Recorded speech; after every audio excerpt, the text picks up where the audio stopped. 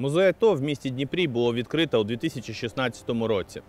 Але ми почали створення нашого музею з вуличної експозиції. Загалом весь комплекс було створено всього лише за один рік 2016 року.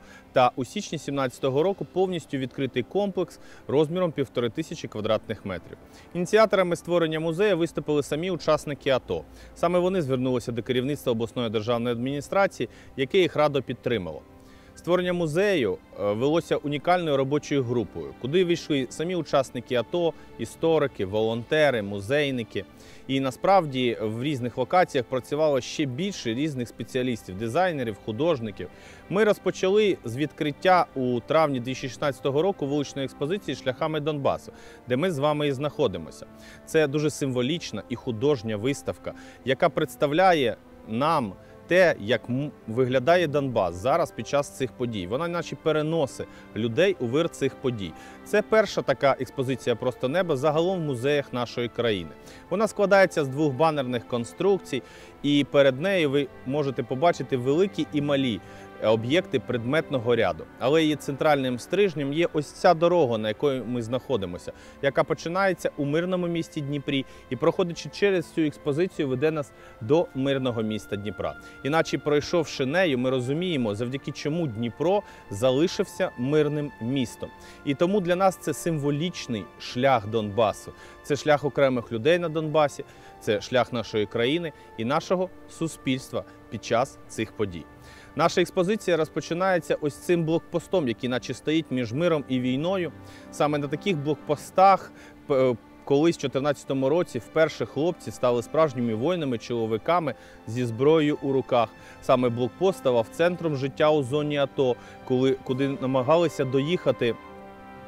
Переселенці з Донбасу, ку- куди їхали безпосередньо карети швидких допомог, куди їхала гуманітарна допомога від волонтерів. Іначе хтось з бійців у патріотичному пориві намалював десь намалював тут частину карти України з зображенням Криму у патріотичних кольорах. Тому що ми розуміємо, що саме у Криму почалося вторгнення Російської Федерації. І саме поверненням Криму завершаться ці події. І саме для наших громадян, до наших відвідувачів, ми тут вписуємо фразу, яка завжди повстає в найтяжчі часи в нашій країні. Якщо не ми, то хто? Тому що вона звертається саме до вас, до кожного з вас, бо держава і є її громадян. Далі від блокпосту ви бачите лінію дорожніх казівників. Це наче відкрита книга АТО, яку гортає відвідувач. Один за одним від Слов'янська до Дебальцева показані різні населені пункти Донбасу. Але насправді віднині це не просто топоніми чи назви міст, це імена називні в нашій історії. Як зараз в історії Чигирин, Берестечко, Біла Церква, ми їх вчимо по книгам, з ними пов'язані якісь історичні події. В них є своя духовна семантика.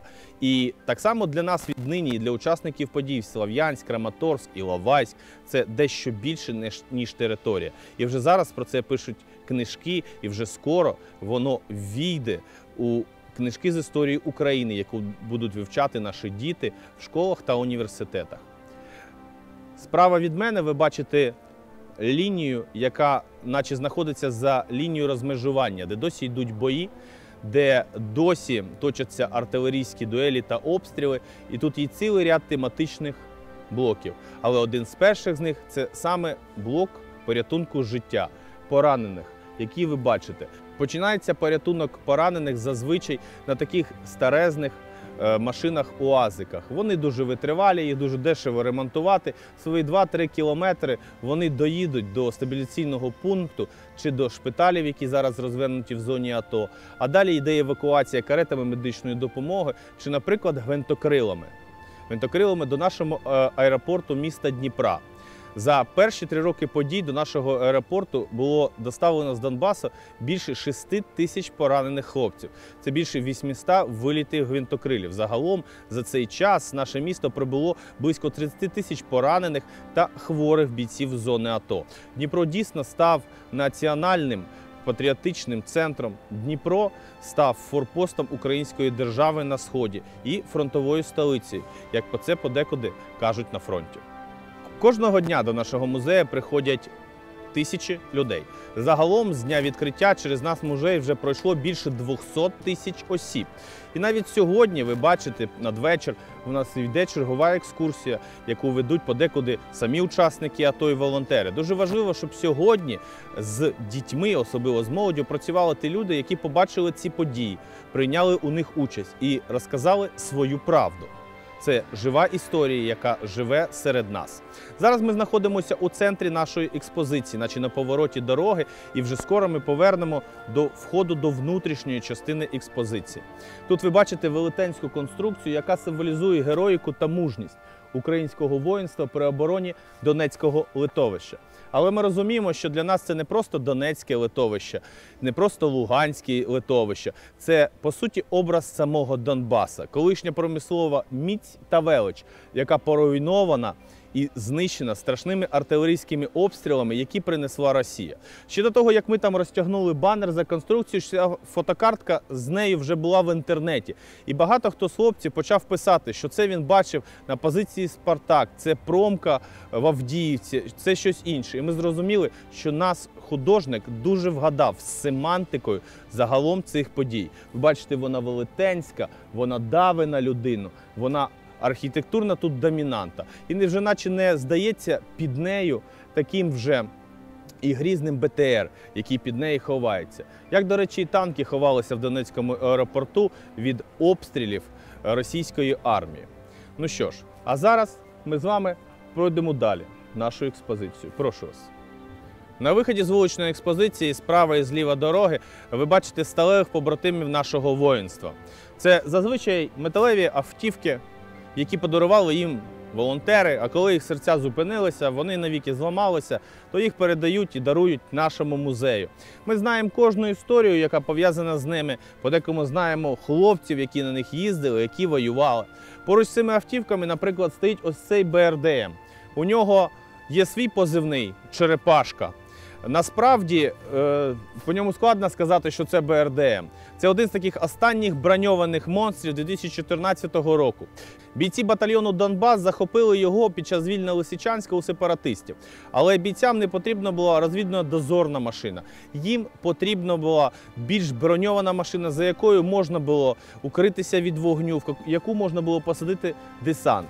Тому вони кустарно своїми руками та з допомогою волонтерів її повністю переобладнали, наварили тонни ресори, яка витримує бронебійно запальні е, кулі, виварили зайві колеса посередині, варили ось такі ляди, щоб можна було туди садити десант. Ця машина прийняла участь у боях за многопілля і була під Іловайськом. Три роки ніхто не знав, де вона знаходиться. Але наш музей її віднайшов і в серпні 2017 року долучив сюди до експозиції. І цю машину, інші автівки ви можете побачити, приїхавши до нас. На нашій вуличній експозиції на банерах ви можете побачити вірші. Це вірші класиків української літератури. Ми довго думали, що допоможе віднайти місце цим подіям у нашій загальній історії, і зрозуміли саме вони. Вірші. Те, що ми подекуди вчили з дитинства в школі, а подекуди не хотіли вчити, а подекуди на це не зважали. Це, напевно, саме ті посили, які нам залишили наші предки, центром захищеної частини Донбасу стала ось ця скульптура, яка символізує людей. Це саме не пам'ятник, а людяна скульптура. Вона, наче стоїть навпроти цього обезлюдненого дапу, що за вашою спиною, побитого і знищеного, і символізує сердечність нашого українського воїнства. Вона має назву вдячність, бо саме так ми побачили через роки зустріч двох людей: бійця 42-го батальйону Івана Погорілого та маленької дівчинки Яни, якій було 4 роки, коли він смертельно поранений, стикаючи кров'ю, зміг врятувати дитину, яка тільки що втратила усю родину. Ця історія описана у книзі Євгена Положия Іловайськ, розділ Дядя Ваня. Я пропоную вам всім її почитати про те, як декілька діб помираючий боєць знаходив у собі сили, щоб врятувати дитину. Зміг врятувати її, а Бог врятував і життя, і здоров'я Івану, який довгий час працював у нас в області вже після цих подій і зараз виховує двох своїх дітей. В нас в нас у Дніпрі була унікальна історія пов'язана з цим пам'ятником. Колись Яна тримала яблуко бронзове, але якісь хлопаки не дуже свідомі його, на жаль, відламали. І скільки ми не просили, вони його нам не повернули, бо ми їх не знали, ми об'являли в цьому в пресі. Але тепер зараз у нас унікальний флешмоб музею. Завжди, коли люди приходять до музею, вони кладуть у руку Яни справжнє живе яблуко. А подекуди яблуко і Яні, і Івану, а подекуди по сезону там вже і груші, горіхи і все інше. Інколи Яні заплетають такі красиві стрічки і заплітають Івану. А 14 жовтня вони були повністю до колін, засипані квітами, тими квітами, що дарували учасникам АТО, а вони їх принесли сюди, до музею АТО в місті Дніпро. І сьогодні я покладу до рук Яни невеликий апельсин. А будете в нашому музеї, покладіть щось і ви. Стенди присвячені нашим основним героям, військовим, які захистили нашу країну, розповідають про військові частини, які були в нашій області до цих подій, ті військові частини, які були створені в нашій області під час цих подій, та ті військові частини, які самі обрали Дніпропетровщину своїм домом. Загалом в нашій області існує три кадрові бригади. Це 25-та окрема десантна е, бригада, це 93-я окрема механізована бригада та 17-та окрема танкова бригада. Але під час війни до них приєдналися ще батальйони територіальної оборони 20-й, 39-й, 40-й, 43-й. В нашій області був створений батальйон, зараз полк Дніпро-1, щоб боротися з можливою п'ятою колоною сепаратистами саме в Дніпрі. Але і вони виконували завдання там, в зоні АТО, і відіграли значну роль. В нашій області е, розквартировуються різні частини добровольчого українського корпусу, правого сектору та дії Яроша. Але ми би хотіли, щоб загалом ці стенди з часом виглядали саме так. Це було зображення саме людей з їх словами, чому і для чого вони це зробили. Тими словами, яких не вистачало навесні 2014 року багатьом. Ви бачите зображення Олега Кострюченка, який сказав своєму батьку, чому він знову повертається вже достатньо хворий на фронт, тому що він не хоче, щоб війна прийшла у Дніпро. Він не хоче, щоб його донька Полінка ховалася по підвалах, як і люди там, в зоні АТО. Олег загинув в вересні 2014 року у Пісках, але завдяки його діям війна не прийшла у нашу область. Стенди, які присвячені військовим капеланам, дуже прості і лаконічні, тому що нема нічого більш простішого, ніж потяг людини до Бога, особливо в таких важких подіях. Ми розуміємо, що саме під час війни відродилася давня українська традиція, бо священники були завжди не лише побратимами, але й поплічниками українського воїнства. Тут у вітрині ви бачите особисті речі одного з перших капеланів нашої області, отця Дмитра Поворотнього. Колись він служив у, десантниках, але коли почалася війна, вже він став священником. І він обрав новий шлях боротьби з ворогом і новий шлях посилення нашої армії. Можливо, не матеріально, хоча він так само допомагав, але духовно допомогти нашим хлопцям на фронті. Медики Дніпропетровщини це дуже важлива тема. Тому що ми розуміємо, що бійцям потрібно знати, як вони б'ються на фронті до кінця за нас, так і за їх життя, здоров'я будуть битися медики. Більше шести лікарень області, два військових шпиталі та безліч відділень загалом приймають поранених з зони АТО. Лікарня імені Мечнікова, стенд, який присвячений справа від мене, просто стала символом порятунку життя. Більше трьох тисяч найважче поранених хлопців пройшло через неї. Багатьом не просто врятували життя, а дали його наново. Майже всім відновили здоров'я. Стенд лікарень присвячений саме роботі лікарів, наших героїв. І там є ті слова, які вони кажуть про свою роботу. Це дуже важливо. Але його зверху вінчає фраза бійця: Кома це не кінець. Дякую лікарям імені Мечнікова. І ці слова, написані людиною, яка тільки що прийшла на тями на маленькому клаптику паперу, для нас дуже важливі. Вони коротко та лаконічно підкреслюють, що роблять лікарі кожного дня для захисту нашої вітчизни. Далі ви бачите стенди, які загалом присвячені лікарям нашої області, які відновлюють життя бійців, їх здоров'я. Тут по центру унікальна кардіологічна таракальна бригада, яка була створена у травні 2014 року. Її очолив е, лікар, хірург таракальний вищої категорії Гліб Шкарупа. Саме вони одні з перших приймали поранених з зони АТО з так званою політравмою, коли не зрозуміло, що сталося з бійцем. Е, Не можна локалізувати в одному це місці чи в багатьох. Не можна зрозуміти, що з ним до цього робили, яку надавали допомогу. Саме завдяки їх роботі і опіці були врятовані сотні життів. Але тут є багато і багато лікарів по різним відділенням області. Це і хірургія е, кісті, хірургія кінцівок, хірургія обличчя, а так само єдиний в нашій області опіковий центр, яким завідує Сергій Слісаренко. Більше 300 бійців пройшло через цей центр, і майже всі залишились живі. Найважче опечений поступив з площею опечення 86% тіла. І він так само залишився живим. Йому відновили здоров'я. А зараз я вас зі мною далі до зали світлої пам'яті загиблих героїв.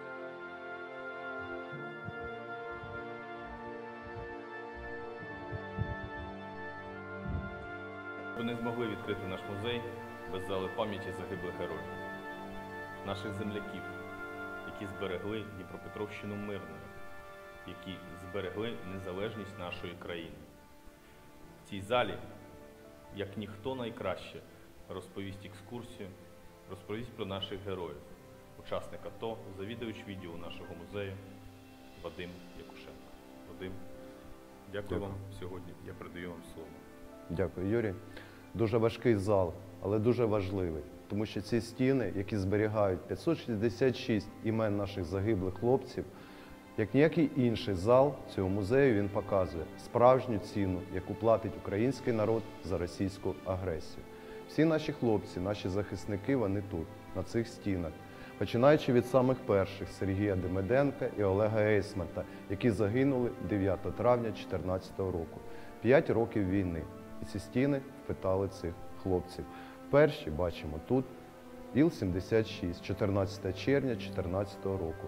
І коли ви бачите оці скляні куби з особистими речами, які передавали матері загиблих хлопців, батьки і бойові побратими, ви можете оцінити і ту трагедію, яку переніс наш народ, і той справжній героїзм. Ми не намагалися показати українського воїна в тому, в тому сенсі, що він герой. Не показати, як він воїн, показати людину на війні. І ви погодитесь зі мною, що задовго нашої історії в нас були і великі князі, і славні козаки, захисники недалеко минуло, на жаль, наші сучасники. І ми можемо от розпочати з наших славних захисників, воїнів 25-ї бригади. Микола Люшенко, більше 20 років відслуживши в частині, він пройшов найгарячіші точки світу як миротворець Організації Об'єднаних Націй. Берет миротворця, флаг миротворця, берет десантника 25-ї бригади. Загинув трагічно Вілі 76. Але не головне це все. Тому що коли ми бачимо, коли мати передає нагороду або відзнаку за Луганський аеропорт, орден за мужність, і ми можемо познайомитися з Бондаренко Віталієм, його трудова книжка, де показано, що він працював простим робітником. Але її найголовніші слова про те, що листівку з вітаннями від сина на день народження вона не отримає вже ніколи. Дружина, яка передає свій, е, яка передає чохол від бронежилета Маспана Віталія і каже, що він в ньому пройшов Євромайдан, в ньому він пішов добровольцем, в ньому він загинув. Можна ще сказати про Антона Камінського, який на слова матері, що Синку, може, ми вже дали досвід для нашої країни. Може, ти залишишся, ти такий ще молодий. І він відповів: юний юнак, як справжній чоловік, мама. А якби це не зробили батько або дід, або прадід. Він пішов через два тижні. Він загинув. Дуже проникливий лист доньки Богдани, Болтушенка Андрія, Я хочу звернутися і наголосити, в 2014 році ніхто не, навіть не міг подумати, що п'ятий рік буде йти війна. І коли Андрій йшов на війну, він, мабуть, обіцяв своїй доньці, що він прийде, війна скоро скінчиться, і він поведе її 1 вересня до школи. Він загинув 31 липня під Шахтарськом. І 1 вересня його донька пішла до школи і пише листа до своїх майбутніх однокласників, до своїх однолітків. І вона звертається 1 вересня, День знань. Вас поведуть батьки, тато і мама. Щасливі батьки. Мій тато загинув на війні. Я думаю, що наше покоління в свій час такі листи не писало. Ми повинні про це пам'ятати. Таких захисників, таких історій безліч. Я хочу вам ще раз показ- ще показати наших захисників Лащенка Артема і Лащенка Максима, два брата-близнюка, воїни 25-ї бригади. Командування ніколи не саджало їх ні в один транспорт, не відправляло на жодне бойове завдання разом. В той роковий день вони опинились разом. І така тяжка доля, що вони народилися в один день і в один день загинули. Це велике горе і велика втрата. Найбільше е, горе, яке можуть пережити батьки, це втрата своїх дітей. Найтяжче приймати речі, які передають родини загиблих. Я не можу передати словами, я лише можу показати в цьому скляному кубі речі, які нам передала мати Жукова Антона. І вона попросила нас покласти його камуфляж таким чином передати слова, що хай бачить, яким залізом, яким калібром знищують наших хлопців. Можемо звернути на це увагу. І ми йдемо, і ми бачимо, і розуміємо, да, що тут хлопці в нас розташовані. Я не люблю цього слова за хронологію, але коли ми показуємо перший, хто у нас загинув, потім Іл-76, потім Кривавий Шахтарськ, потім обстріли під Красним Лиманом. Майже вся центральна наша стіна це загиблі в Іловайському котлі, близько 200 наших захисників. Тут я хочу показати вам таких чоловіків, двох е, командирів взводу Долгова Ігоря і Лихогруда Андрія, 40-й батальйон Кривбас. Це до тих слів, коли ми говоримо, що знищувались цілі роти, цілі взвода. Оцю ікону Долгов Ігор написав за три дні до своєї загибелі. В Іловайському котлі загинув і Герман Абашин. Обгоріла, обгоріла зв'язка ключів і телефон. Це все, що залишилось від екіпажу машини, де водієм-механіком був Герман. І коли туди влучив ворожий снаряд, то ми розуміємо, що не від техніки, не від хлопців не залишилось нічого. Але ота біль і ота психіка людська, вона не в силах це все перенести. Хлопець, який був сиротою і виховувався своєю тіткою. Він загинув, і її психіка відмовлялася два роки визнати його загибель.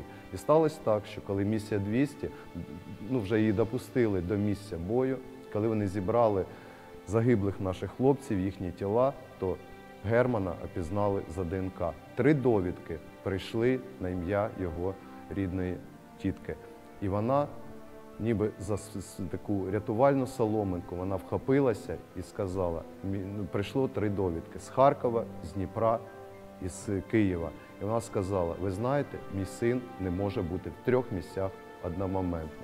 І лише коли два роки пройшло, вона зуміла визнати все ж таки його загибель. Це дуже складно, і ми про це повинні пам'ятати, яких над- надлюдських зусиль для України дається, якими надлюдськими зусиллями дається ця війна, якими тяжкими е, переживаннями наш народ, скажімо, проходить через цю війну. Я можу тут показати і розказати про Севастянчика Дмитра, хлопець, який місяць проходив лише свою строкову службу. Він тільки на червні закінчив Львівську академію Сагайдачно, факультет е, арт-коригувальників, звукометристів. І він був зовсім невеличкий. У них група це, це їхній набір. Всього 13 чоловік. Двоє з, їх, з їхнього складу загинули, і двоє перебувало в полоні. Інші хлопці, хто залишився живий, вони зараз служать.